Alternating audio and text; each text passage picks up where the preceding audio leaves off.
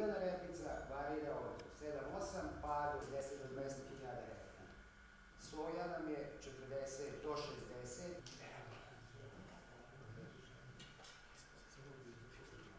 ljudi namene na nas, to se veoma malo.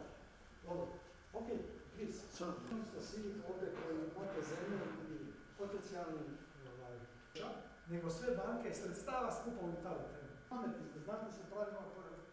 Ja smatram da, s obzirom da je ovaj proizvod profitabilniji od uljane repice, e, možemo da kažemo da se radi o proizvodu kanola, da on po svojim prinosima e, je nešto čak i, bolji od uljane repice, možemo da kažemo da je i cena znatno veća.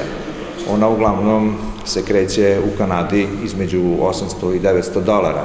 Svi oni koji su došli danas da čuju nešto, znači ne samo o proizvodu, nego i o načinu rada, e, biće tu i zajedničkih ulaganja, biće tu e, dugogodišnjih ugovora, jednoj i drugoj strani je cilj da se obezbedi.